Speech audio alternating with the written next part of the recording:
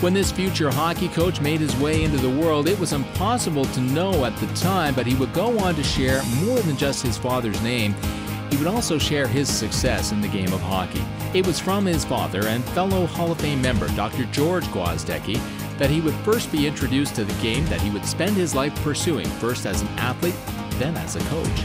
Gaining a strong foundation in hockey by playing in the minor leagues of Port Arthur, his award winning play saw him serve on a number of teams before advancing to the junior ranks in the late 1960s.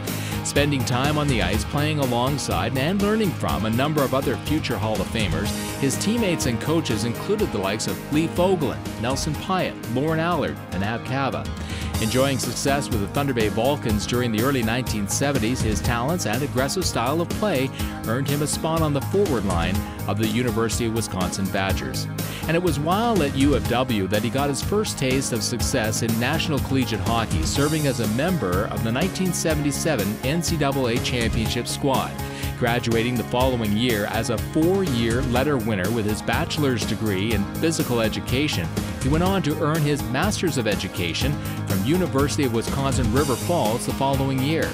Signed on as their head coach, he led the River Falls Falcons to the 1983 NAIA title, earning NAIA Coach of the Year honors. With a 687 coaching record to his credit, he was recruited by Michigan State University, joining their assistant coaching staff.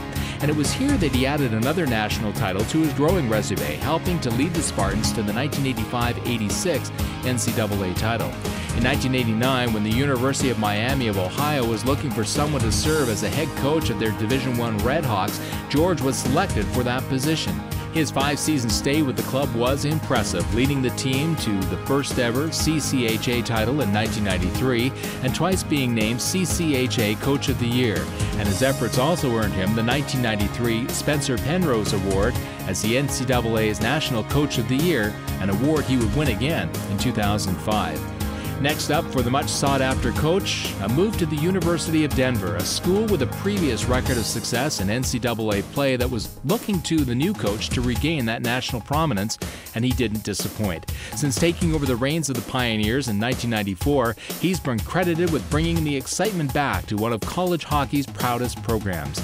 Inheriting a team that finished ninth in the WCHA in 1993, he guided them to the 1995 NCAA Tournament quarterfinals, a feat that earned him WCHA Coach of the Year honors. Entering the 2004 NCAA Frozen Four as underdogs, his teams come from behind win over Minnesota Duluth and a 1 0 victory over Maine in the championship game earned the Pioneers their first NCAA to a national hockey title as a player, assistant coach, and head coach.